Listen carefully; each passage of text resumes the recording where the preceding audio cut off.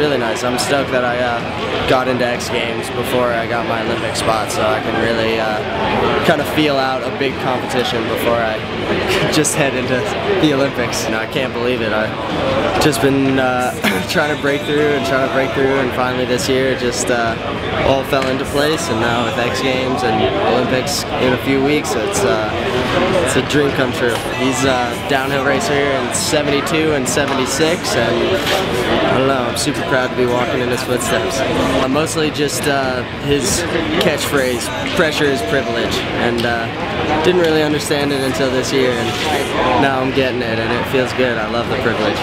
This is the biggest crowd I've ever been in front of, and I'm sure in a couple weeks I'll have another big crowd that I've never seen before as well. So.